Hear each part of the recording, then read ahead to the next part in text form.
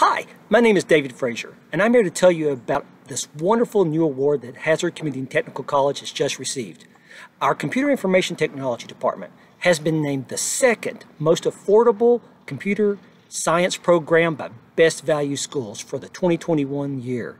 This is a marvelous award and we're all really excited about it. And I just wanted to give a congratulations to all the people that made this possible, all the faculty, staff, professors, everyone from top to bottom that has enabled us to reach out and help our students. So it's great. I'm looking forward to seeing many of you into the future and I hope to see you as part of Hazard soon.